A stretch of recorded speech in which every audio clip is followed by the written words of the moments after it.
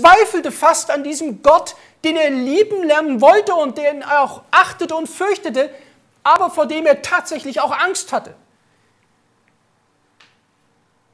Aber er hatte selber noch diesen Kampf und so, so entschied er sich, als er in Rom war, auch zu dieser Pilatusstiege zu gehen, die deswegen ihren Namen hat, weil man sagte, dass diese Treppe aus Jerusalem dorthin exportiert wurde als sozusagen überdimensionales Relik. Und man installierte dort diese Treppe, machte einen imposanten äh, Torbogen mit einem imposanten äh, Relief und man behauptete, dass diese Treppe die Treppe sei, auf der Jesus selbst auf Knien hinauf, hinauf, hinaufgestiegen wäre, zu Pilatus zum Verhör und letztendlich zu seiner Verurteilung. Und jeder Katholik damals wusste, wenn er in Rom ist, war das ein Pflichtprogramm. So wie es heute Pflichtprogramm ist in Rom, dass man gewisse Dinge gesehen haben muss. Jeder, der in Rom ist, geht mindestens mal zum Kolosseum, oder nicht? Luther fand sich wieder auf dieser Treppe, auf den Knien, wie er dort hinaufging, hinaufrutschte. Und mit jeder Treppe, die er auf den Knien dort hochging, erlebte er in seinem Herzen einen Argwohn und eine Abscheu. Mitten auf dieser Treppe hört er plötzlich wie von einer Stimme, die zu ihm einen Bibeltext zitiert. Und zwar Römer 1, Vers 17. Denn darin wird offenbart die Gerechtigkeit, die vor Gott gilt, welche kommt aus Glauben im Glauben, wie geschrieben steht, der Gerechte wird aus Glauben leben. Luther hörte dieses Wort und er plötzlich, in dem einen Moment, wo er dieses Wort hört aus Römer, und den Text kannte er gut, empfand er eine Abscheu und ein Schamgefühl, als er hier auf den Knien dieser Treppe mit anderen Pilgern dort hinaufrutschte. Eine großartige Autorin und meines Erachtens auch eine Person mit reformatorischem Geist schrieb in ihrem großen Werk Der große Kampf, Sie können sich dann einen mitnehmen, der liegt heute hier aus während der ganzen Serie, weil wir glauben, dass dieses Buch reformatorischen Geist in sich hat. Sie schreibt hier über dieses Ereignis, geschichtliche, in Scham und Schrecken sprang er auf, Luther, und floh von dieser Stätte. Von jener Zeit an sah er deutlicher als je zuvor die Täuschung auf Menschenwerke zu vertrauen, um Erlösung zu erlangen. Dieses Schamgefühl führte Luther dahin, dass er nicht aus Rom abreiste, sondern dass er aus Rom floh. Seine Augen waren geöffnet worden, um nie wieder geschlossen zu werden. Als er Rom den Rücken kehrte, hat er sich auch in seinem Herzen von Rom abgewandt. Diese Erfahrung war für Luther eine bittere Erfahrung aber sie war eine heilsnotwendige Erfahrung. Luther erlebte eine buchstäbliche Kehrtwende in seinem Denken, in seiner ganzen Auffassung, in einem neuen Licht Dinge zu sehen, die er vorher nicht wirklich verstand. Es geschieht etwas in seinem Leben, worum es heute an diesem Abend gehen soll. Um die wahre Reformation. Luther erlebte in Rom etwas, was ihn wirklich zu einer einer echten Erfahrung führte, die wir heute im Umgangssprache nennen Erweckung. Und von nun an geschah in seinem Leben etwas, was wir heute als Geschichte kennen. In dem Wissen, nicht mehr zurückzugehen zu können an dem Punkt, wo er als Mönch war und auch nicht mehr zurückgehen zu wollen, macht er sich auf die Reise nach Deutschland, zurück nach Wittenberg und erlebte, wie schon auf der Reise sein Leben, diese Reise dauerte ja wieder eine Weile, reformiert wurde. Luther war nicht mehr derselbe. Er war nicht mehr der, der gegangen war aus Deutschland. Er war jemand anders geworden. Das Erste, was mir auffiel, als ich etwas näher diesen Mann Luther anschaute, der ja für die deutsche Reformation schlechthin steht.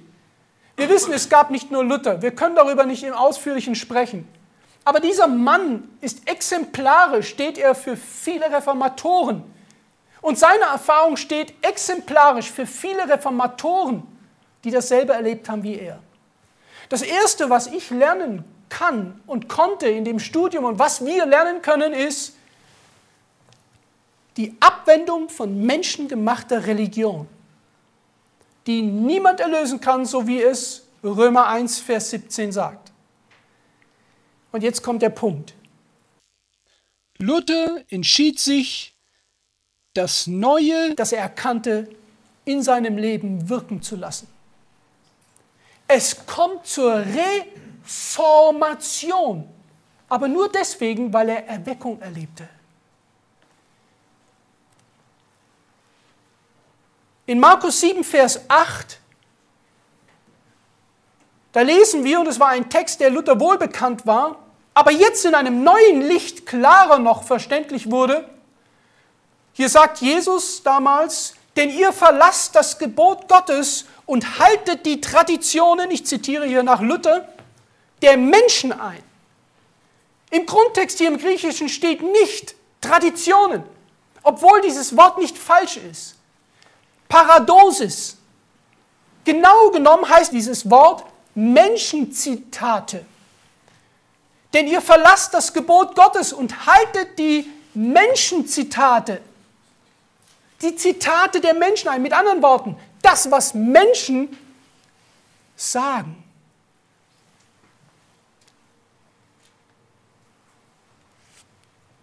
Luther hatte gelernt, dass Frieden nicht dadurch kommt, sich an dem auszurichten, was Menschen sagen, dass man tun soll, damit man dieses oder jenes erfährt. Nach seiner Begegnung und seinem Erlebnis, das er hier in Rom hatte, und seine erste, seine erste wirklich ernstzunehmende Erweckung erlebt,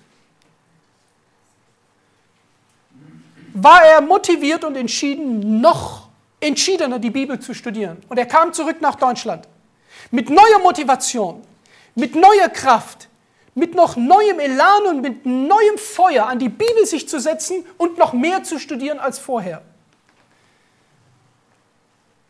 Und er erlebt hier die Begegnung mit dem Wort. Sehr intensiv hier in dem Schlosskloster, hier in, auf der Wartburg. Hier ist sein Arbeitstisch, man kann ihn heute besuchen, hier diesen Raum. Und es ist beeindruckend und es ist ein Stück weit Geschichte dort zu stehen wo dieser große Mann durch den Heiligen Geist berührt, sich den Plan und das Ziel setzt, allen Menschen in Deutschland es zu ermöglichen, diese Erfahrung zu erleben, die er selber erlebt hat. Es gab zu diesem Zeitpunkt keine wirkliche ernstzunehmende Bibel. Es gab schon Bibeln. Es gab die Wulfilla-Bibel, die vor allem eine sehr ur-ur-urdeutsche Sprache war, die selbst in der damaligen Zeit mit dem damaligen Deutsch eigentlich nicht wirklich verständlich war. Erasmus von Rotterdam war dabei, gerade an seinem Neuen Testament zu arbeiten.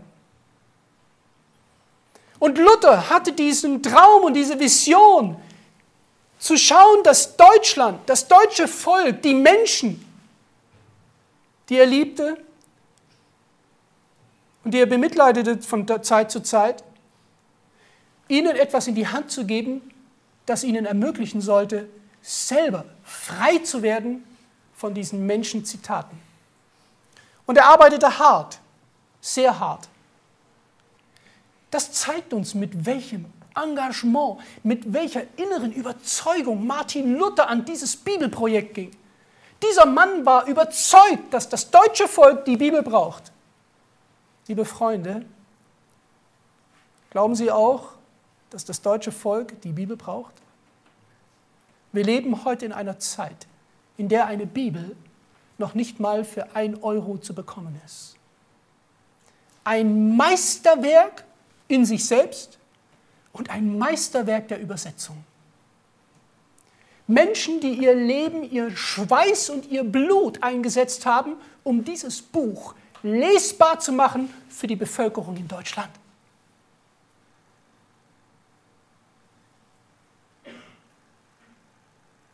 Oh, wie gern hörte ich das Klopfen an den Türen der Kirchen in Deutschland, wo Nägel reingetrieben werden durch einen Hammer, der sich durch ein Papier bohrt und darauf zurückbesinnt, was eigentlich das bedeutet, was sie so dann und wann mit sich tragen oder zu Hause in ihrem Schrank haben.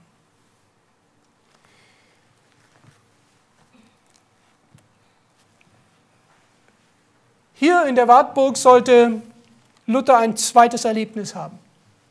Wir wissen aus der Geschichte, es ist vielleicht das bekannteste Erlebnis, das über ihn berichtet wird.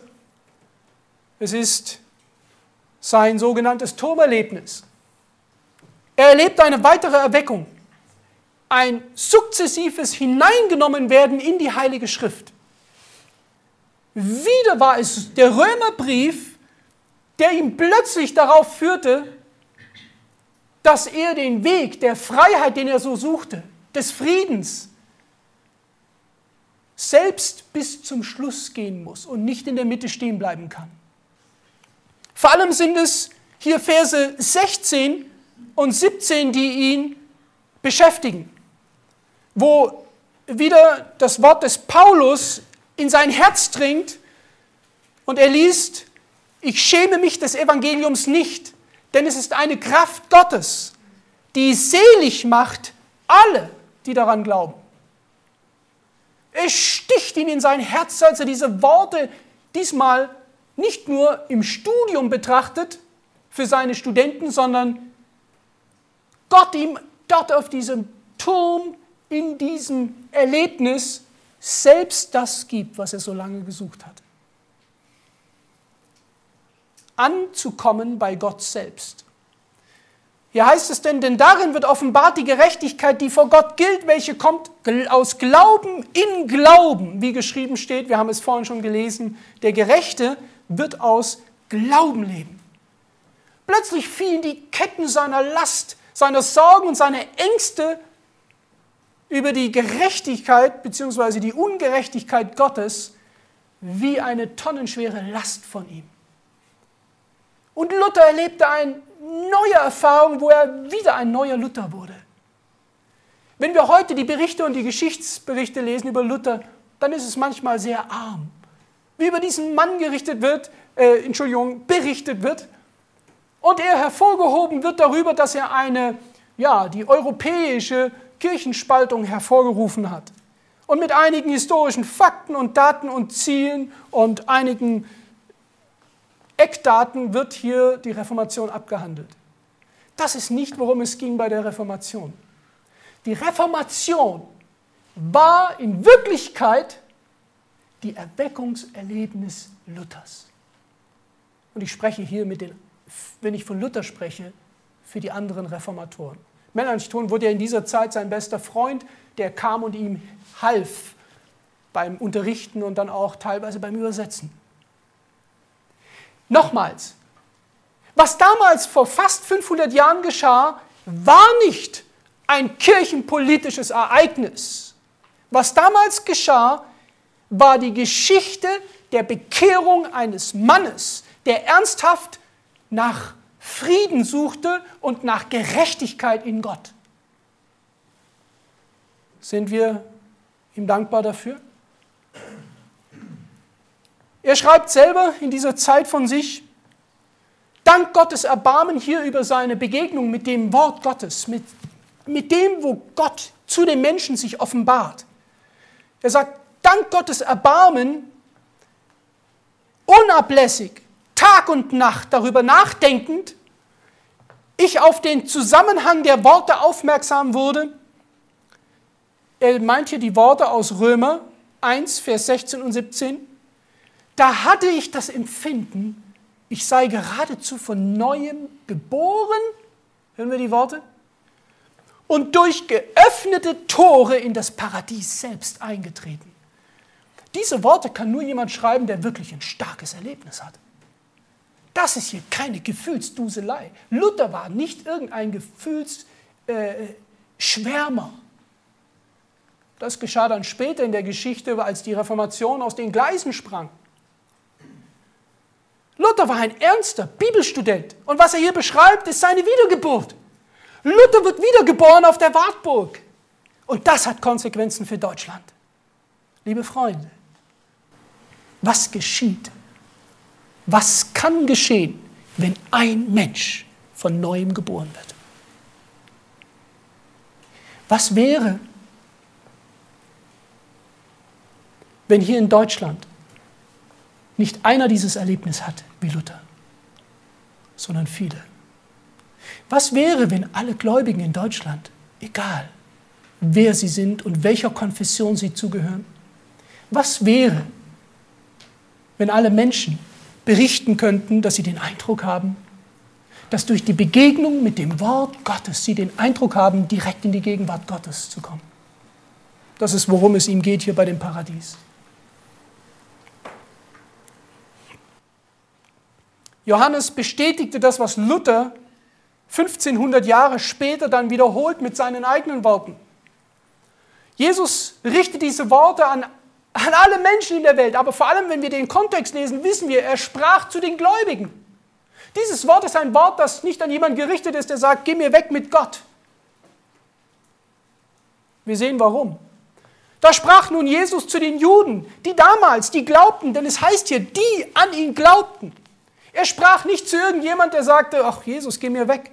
Er sprach zu denen, die glaubten.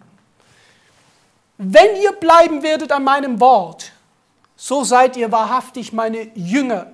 Jünger wissen wir aus dem Griechischen heißt Mathetes. Mathetes heißt Schüler. Und genau das war Luther. Und er war ein guter Schüler.